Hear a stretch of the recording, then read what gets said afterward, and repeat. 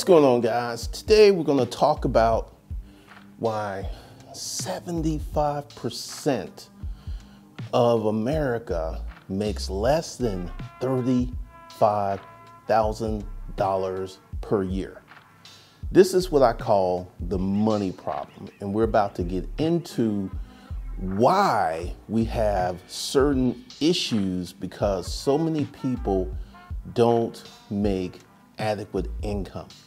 We're going to talk about that and a lot more. Once again, shout out to the Nerd Tribe for leaving your well constructed comments. I really appreciate you guys. Uh, it's just a joy to wake up every day and to read intelligence, to read people who actually watch the video and put in a, a comment that resonates with the video. It's, it's an amazing thing. So I, once again, I appreciate you guys. All right, so what prompted this video? I was watching a video that was talking about passive, the cult of passive income.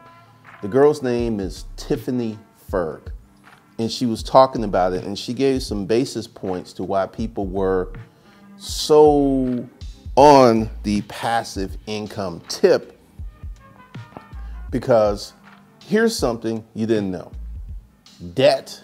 We have the highest level of personal consumer debt that we've ever had right now.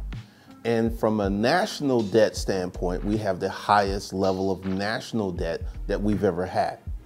So people are literally drowning in debt, and people are looking for a way out. And once again, um, Tiffany, I thought I thought her presentation was good. I thought it was on point. One of the things that I consistently see is people are preaching to you, and this is where we're going to get back to the money problem, that you can do a lot with a little money. This is a big issue on YouTube. Uh, I was watching a video who was like, Take your income and buy income producing assets. I'm actually got something else that I'm going to do some training on that's going to be way better than that. Um, here's the thing 75% of America makes less than $35,000 per year. So, with the average rent across the nation being a thousand bucks, with the average car payment being $550. Just those two things. And you're making 3500 which is going to be about 22 to $2,600 per month. So between your rent and your car payment, that sucks up more than half of your money. Just those two things. And then we add gas, we add insurance, we add food. So what I, what the point I'm trying to make is the average person who makes $35,000 a year doesn't have the money to buy income producing assets. There's just, you know, men lie, women lie, numbers don't lie. There's just not enough money to buy income producing assets. Now, I did a video where I was talking about I spent $400,000 to say black folks were nothing. Okay. My $400,000 $400,000 investment, let's just say the car rental business, let's just walk down fantasy lane and say the car rental business was a good business. I don't think the car rental business is a good business, but let's, for, for argument's sake, let's say it was a good business and I invested 400,000 and that got me, my highest month I made was 25,000. So let's, let, let's just park it right there. So I invest 400,000 and I make 25,000 and let's say our expenses were running 5,000, so that left a profit of 20,000 times 12 is 240,000. See, here's the, the big issue, and a lot of people are not used to running the numbers. Once you get used to running the numbers, um, you get a greater understanding of what it takes to get to a certain thing. Because like one of the things I do is like I watch a YouTuber in the financial space and I'll run the numbers and I'll look at his his background, I'll look at his presentation, and I'll just see things that just don't spell the the the the, salt, the, the narrative that he's trying to sell. Uh, I see no signs of wealth. I see no signs of appreciation. I see a hustle, but I see no real wealth. And once again, you guys have seen me show receipts. You've seen me show car titles. You've seen me show ATM receipts. You've seen, the, you know. So, one of the things that I am seeing, and this going back to Tiffany Ferg, is people are desperate. People are desperate. And when you become desperate, you're open to anything that can solve the pain. So, one of the big issues and the way that this country is set up is that people are not told what the future holds. Like you have a grandfather, you know, what's, this is something else, and tell me if this happened in your life. When I was growing up, old people used to tell you what was coming. They would tell you what was coming. That's like, this is going to happen, this was going to happen. I don't know if they do that anymore. But we have a lot of people who have no understanding of what is coming. They have no understanding of, you know, because like I said, 75% of the country, and once again, this isn't like, all right, over, that's only 160 million people out of a population base of 330 million. Half of the country ain't even working. You know, we have kids, we have elderly, we have stay at home moms. Half the country ain't working. So when you boil that down to 75% of the 160 million, that's over it's over 100 million people who really are not making, in my opinion, respectable money. In my opinion, respectable money. And one of the big issues is they don't understand that the money that they're making is not enough to do these things. They understand on a I'm trying to buy something level. They understand that I cannot afford that because I don't have enough money. They understand that. But they don't understand on an investment level. And I have seen YouTube video after YouTube. I don't really watch TikTok. Telling people that if you put X amount of dollars away for dividend investments, that you can now have this significant revenue stream in the future. Once again, let's go back to 75% of America, working America, doesn't make $35,000 a year. There's not enough money to buy enough of an asset to produce a significant return. I, I was watching. Uh, this this is this is one of the maddening things about YouTube because let me go ahead and uh, drift a little bit. Why do I bring you this information? Why do I create these YouTube videos? Once upon a time in my life, I was homeless. I was dirt poor. I don't bring you millionaire game because, frankly, unless you're already a millionaire, that advice is totally useless to you or millionaire reacts or all this other stuff. That's just social media hype. The information that I bring to you, I bring to you where you are so you can elevate. Me saying, you know, yeah, I can go out and spend $120,000 for a Porsche. I can do that because I have a business. You can't. And I'm not trying to be dismissive. I'm not trying to talk down to you. I'm trying to talk to you where you are and this is why I feel that so much of the advice on YouTube is misguided and unhelpful because I know what it's like to be hungry. I know what it's like to be homeless. I know what it's like to want and to want and to want and to want. I know what it's like to walk around without no money in my pocket. I know what that's like. So, this is one of the reasons I bring it to you from an earthy, organic level and I give you truth because that's what helped me level up. Once again, years and years ago, about 24 years ago, I was just like you. I was working a regular job. I had a family. I, I was living paycheck to paycheck. What got me out of that?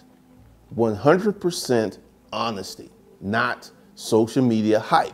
And one of the reasons that I bring to you this, because everyone is looking for, and like I, I felt that Tiffany Ferg, Tiffany Ferg, check out the video, the cult of passive income. She did a really good job of it because she broke down because one there, there's a group of YouTubers who actually tell you the truth. Tiffany um, Ferg, Richard at the Plain Bagel, and once again, men lie, women lie, numbers don't lie. The average person who makes $35,000 a year doesn't have enough money to invest, even over the course of 30 years, that it's going to be a meaningful investment. Like you invest $200, let's say 300 bucks a month for the next 30 years. You might have 300,000. Better to have it than not to have it, but once again, this is something that's going to happen to you. And let me go ahead and tell you what the future holds for you. I am 55 years of age. And for the most part, I've kept myself in pretty good shape. And even after the heart attack, and my doctor and I, we were talking, it's like because I was working out. That's one of the reasons I made recovery that I did. But I'm here to tell you, uh, I can feel it. I can feel it. My energy and vitality ain't what it used to be. I can still outwork the young buck because my low grade energy is still higher than a lot of people's overall energy because, you know, I, I, actually used to work seven days a week, 12, 16 hours a day. I did that for years. Didn't, didn't bust a sweat, did that for years. So the older you get, and I, I'm 55 years old, in five years, I'm gonna be 60. And I already know there's gonna be changes in my body. There's going to be changes in my energy level. So you are going to get old. Miss Jones, Miss Sally Mae Jones, my neighbor. If you live long enough, you're going to get old. And what happens to the average person as their energy level and vitality drops, so does their productivity. And when their productivity drops, so does their income. So here's the thing you only have a 35 year, a 35 or 40 year window to make your life what it is. And investing, because everyone's been preaching investing in the stock markets and buying crypto and staking crypto. Once again, if you have the money, if you have significant assets, liquid assets to invest, then you can, like me, I spent $400,000. I got myself some assets that made 25,000 a month. If it had been a good business, I would still be doing it, but it's not a good business. So what is better than investing? And one of the things that I saw a video this morning, a guy was talking about dividend investing. Dividend income was better than active income because of this one little thing. You don't have to work people, I didn't understand because I'm a child of the 60s and the 70s where cutting grass, working was honorable. You know, being a child of the 60s and the 70s, it was honorable to work, cutting grass, doing whatever. And now we have a bunch of people who are trying to rent seek. We have a bunch of people who are trying to make money without actually working. And once again, there's the internet charlatans that will give you all of the bubblegum candy advice that is completely and absolutely worthless. Because one of the things that I'm like looking at, and shout outs to Tiffany Ferg, and Richard at the Plain Bagel because they give you, honestly, Richard has a video. Investing will probably never make you rich. The average portfolio size of someone who's 60 years old who's been investing for decades is $200,000. Better to have $200,000 than not to have it. But one of the things that I consistently see, one of the things that um, literally blows my mind is the perspective that so many people take. Like, you know, as a person, the limits of your income. You know that they're very well defined. You can afford this car, you can't afford this car. You, your limits are very, very well defined. But for some reason, when you come to the internet, Disneyland, that's that those limitations seem to disappear. You seem to become um, Superman or Superwoman. And one of the things that I consistently see is the average person, 75% of Americans, working America, which is only 160 million people, which 75% is over 100 million people, do not make $35,000 a year. They make $35,000 a year or less. Or less. And uh, Tiffany did this um, video talking about the cult of passive income. And she broke down some things that I felt she did a really good job on. You should check out the video, the, the Tiffany Ferg, the cult of passive income, because people are desperate. People are desperate right now. We're having the global reset. And right now, I'm going to tell you something that this is someone I know. Someone I know, son was shot in the face and through the neck, and he's rehabbing. Six months after he was shot, she was robbed at the ATM.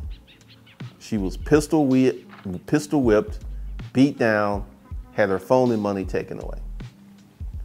And this is once again because her income dictates where she lives. And she said, it's the neighborhood. There's a bunch of people around here who are broken who don't want to work.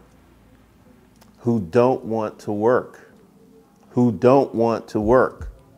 And one of the things that we consistently see is the reshaping of America because once again, I speak to you guys where you are.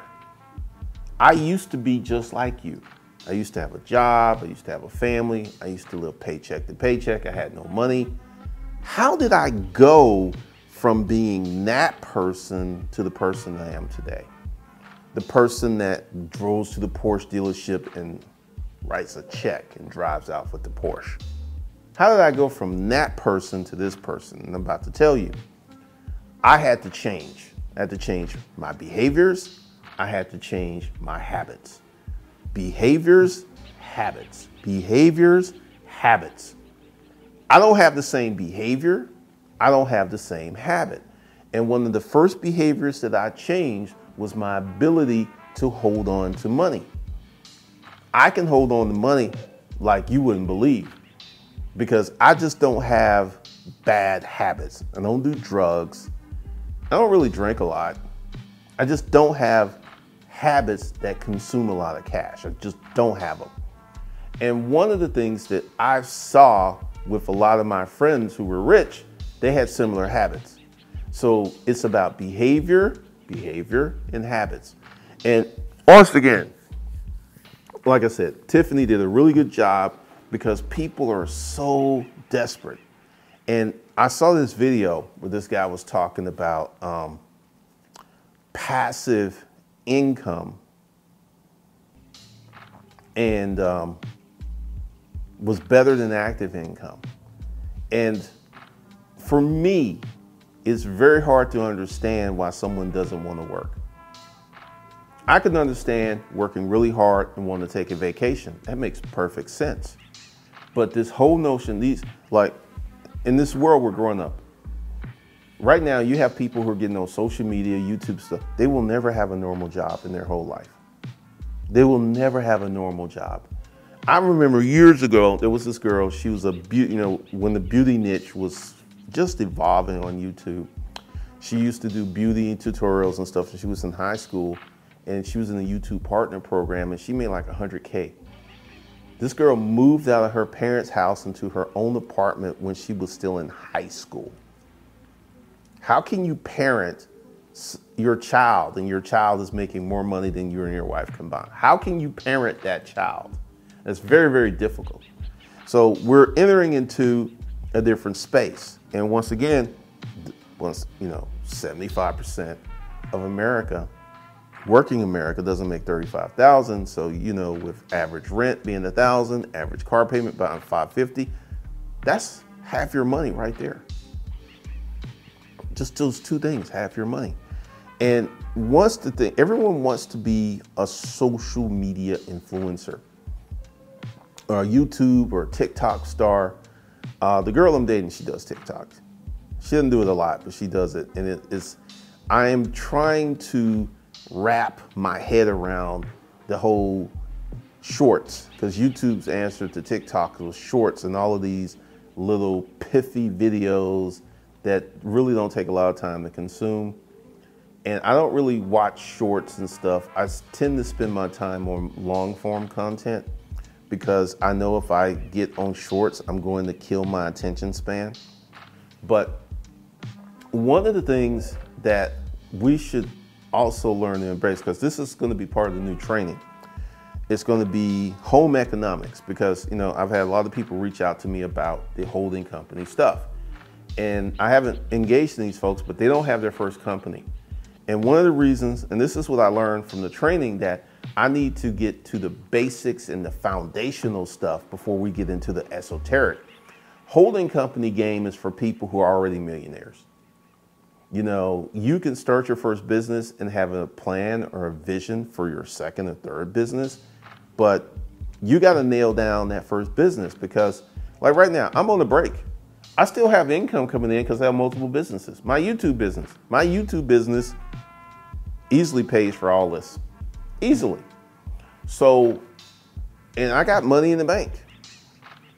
And one of the things that we're going to do with the new training is go through a whole new process, go through a whole new situation because I need to indoctrinate you guys with new behavior and new habits because that's the thing that's going to take you from where you are to where you want to be. Because I've looked at this stuff, like this is why I don't come at you guys with millionaire game and millionaire reacts. That's just mostly bullshit because those type of things don't teach you how to be a millionaire. And that's probably going to be part of the coursework. How to become a millionaire in three to five years. Not one year, not a few months. I've literally seen on social media, uh, claim it, claim it. You claim your million this year, this time next year I'm gonna be a millionaire. You know how hard that is. Let's go ahead and look at the fact that 75% of working America only makes $35,000 a year. Why is that the case? The average job in America doesn't take that much brain power. The jobs that pay 150, uh, one of the girls I was dating, she makes like 150. Um, she be working on some complex projects. So for you to escape that $35,000 pay wage and to elevate to 100, 150, 200,000, you will have to dramatically enhance your skill sets. That's the issue. If you have an income problem, more than likely, first and foremost, you have a skill set problem. You have a skill set problem. You, you have an issue of managing your expectations, you have an issue of um, you don't know what you don't know. And look, this is why I'm going to do a lot of foundational training in March. March is going to be foundational training and stuff because we have to fill in these knowledge gaps because everybody wants to start running and quote unquote secure the bag when you should be securing new habits, new behaviors. You should be working on increasing your knowledge base. Because one of the reasons that these people are so easily fooled is they, they don't have the knowledge. Like I can watch people, I can mention names of people who are pretending to be millionaires on YouTube who are not millionaires. I have lived in zip code 30327 around real millionaires. I know what real millionaires look like. I'm, I'm about to give you a little how to tell if a person's a millionaire. Because one of the things that people love to tell themselves is the millionaire's next door. The millionaire isn't that different from me. He doesn't drive a fancy car, doesn't live in a big house. He just has more money, but he lives exactly. This is one of the reasons you, these are the lies that poor people tell themselves to make themselves feel better about being poor. Yeah, he's just rich, but he don't live no different than me. He talk like me, he walk like me. He ain't no really that much different. He just got more money in the bank. That's it. No! No! Millionaires, real millionaires drive Ferraris. Real millionaires, like I will tell you, there was a couple in my neighborhood. The guy owned his own company and she drove a Blazer and he drove like a regular car, right? But their kids went to private school. And I went to their house and their house was immaculately furnished, million dollar house. I think the house was 1.5. So millionaires may not have a fancy car, but more than likely, if they're married and have children, they're gonna have a great house. They're not gonna be living in some bullshit. Once again, you, you see it all the time that quote the cheap millionaire, the millionaire has all his money and just doesn't spend it. It's bullshit. People with money spend money. I can t- Arthur Blank, owner of the Falcons, was one of my neighbors. You know what he did when he bought that house? He bought the lot to the left of him, the left of him, and to the right of him, and knocked down the houses. So, and he, he just made a big estate. Because that, that this this is what millionaires. You know, this whole notion that millionaires don't spend money, that millionaires are pathologically cheap. All right. If you're an asset-based millionaire, I'm going to tell you one of the reasons that you're pathologically cheap. You have to be, because you don't have no cash. You have no, you, you have no liquidity. This is why people found it so hard to believe that I was able to pay cash for 31 cars because until I and someone left a comment, I've never seen anyone on YouTube spend $400,000 to start a business. Until I did it, you, you've not seen this. And this is, you know, and then one of the smarter people who actually commented saying that big companies do what I did all the time. They'll take us X amount of money, develop a business, see how it goes. If it works out, they'll add more money. If it not, they'll shut it down. This is how real millionaires get down. None of this stuff on YouTube, millionaire reacts. I, I'm, I'm here to tell you, the majority of people on YouTube masquerading as millionaires are not millionaires. They might make six figures, which gives them the ability to finance a lifestyle, to look as like one of the things. Uh, this this is funny. One dude claims to be a millionaire, got bad credit. Ah, uh, if you're a millionaire and you have bad credit, you know what? You can go out and get yourself hundred thousand dollars in secured credit cards and fix your credit in a year. Easy, easy. Easy. But once again, people are lying on the YouTubes. So one of the things we're going to do, and the training is going to start in March, and we're going to have home economics. Home economics, it all starts at home. When I was growing up, and we would come across people who had some erratic behavior, and we say you had no home training. Um, home training makes a big difference in um, how you orientate yourself, how you present yourself to the world. Home training is very, very important. Home training is critical. So the first section, the foundational sections, we're gonna be talking about home training, and I'm gonna lay out all the stuff that I just do but I don't really talk about. And I'm to explain to you why I do it and how you can implement this in your life. Because one of the things I will tell you, I don't buy nothing of note that's not name brand. One of the things I've learned years ago is when you buy name brand stuff, when it's time to trade up or upgrade because it was name brand, it is easy to sell. I sold a broken camera for $3,000. I sold a broken camera for $3,000. Broke. It's broken. It still works. It still takes videos and pictures and stuff. It's just the door doesn't shut because it was name brand. And it's a high demand camera because uh, during COVID, they've run out of this camera several times. Uh, I was looking at replacing it because the broken door just irritated me. Um, one of the things that I want you guys to understand about income. Income is very important. Income dictates where you live. Income dictates who you date. Income dictates your children's friends. It makes such a huge difference. And one of the things that I'm going to do is take you through a process because, once again, the people who got the corporate toolbox, the people who got the corporate papers, you're going to get this new thing. You're not going to have to rebuy it because we're going to get into a lot of foundational stuff, a lot of foundational stuff, because one of the reasons that so many people are so easily fooled by these YouTube and TikTok and Instagram charlatans is they don't have a real basis to understand what real wealth is. And I'm here to tell you, I have lived in a neighborhood full of millionaires.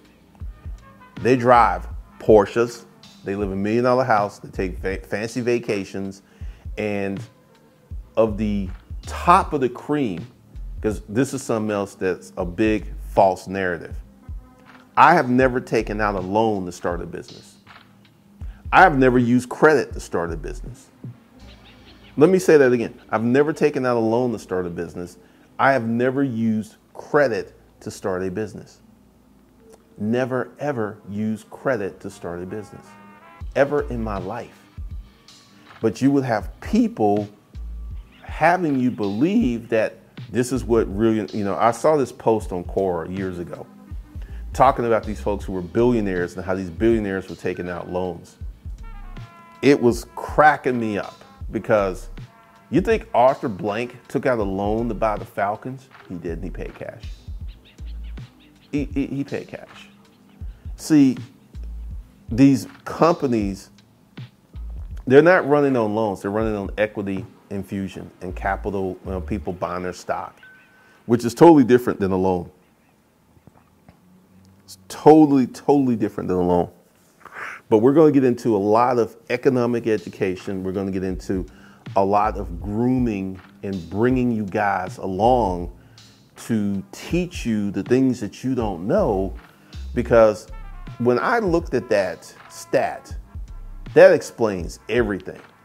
That explains so much. That explains a lot. That explains um, so many things because people, number one, don't make enough money to significantly invest. They don't make enough money to buy assets. They just simply don't. And the people who do, the top 10%, yeah, this works for the top 10%. But here's something that I've noticed. The people with money don't consume social media in the same manner that the broke people do. Broke people be living on social media like it's a soap opera. I've have a I have friends and I ask them about their social and they're like, I, I know people who are millionaires. They got a Facebook page. We're rarely on Facebook. They're not on Instagram. Once again, you know, I'm gonna tell you why. When you have enough money to live the life that you want, you have no interest in watching other people pretending to live a fake life. You got the money to take this trip and go to Bora Bora or do whatever you need to do. You're not interested in watching some young person pretending to be rich. Because this is the majority of them on YouTube, Instagram, TikTok are pretending to be rich. Pretending. And this creates a level of envy and a level of um, jealousness. You know, there are people who are straight up jealous, just straight up jealous. And one of the things that I want you guys to understand as we go through this whole new building of the the uh, the, the tribe is because like I said, I'm going to give you the economic stuff. Because you know when you go to college, there's a reason that they give you the prerequisites before they get into your core training, and we're going to have some prerequisites so you can have a greater understanding of the larger economics. Because I see stuff on YouTube every day that I know is a fundamental lie. Because I know better. I know better. But the average person doesn't.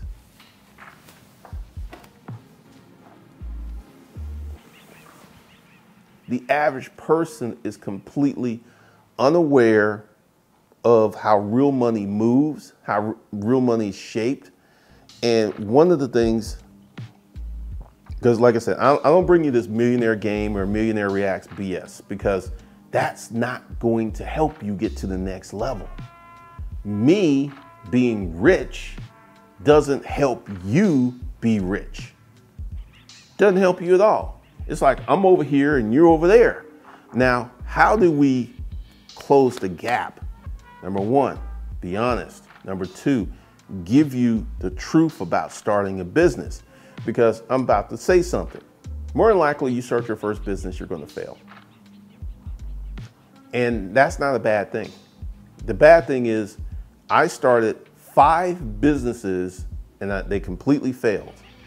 And then I went on this path of pu- putting myself in proximity and learn how to get customers, learn how to sell, learn how to prospect.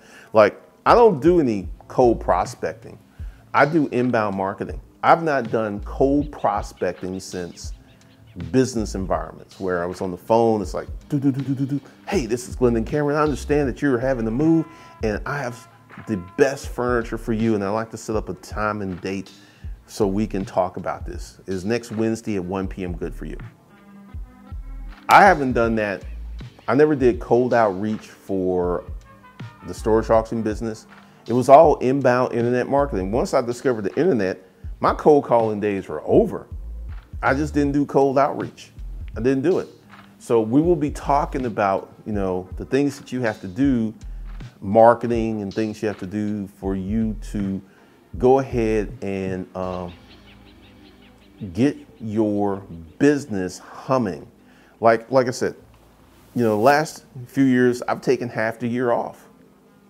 I'm at that point because, like I said, I don't feel that I'm gonna have a traditional retirement. I feel this is retirement for me. You know, now that I got rid of that pesky car business and I've got my cushy life back, this is retirement for me. To wake up and do exactly what I want to do, to work on the projects that I want to work on. This is retirement. This is my retirement. I'm going to be like Warren Buffett, 90 years old and still working. That's going to be me, 90 years old and still working. So I'm not going to have a rocking rocking chair on the porch type of retirement. That's just not happening. So, all right, guys, that's all I got for you. Understand that we're going to be cooking with some gas. We're going to be coming up with some different stuff and be on the lookout for it for March. And once again, I, I need to put all that together.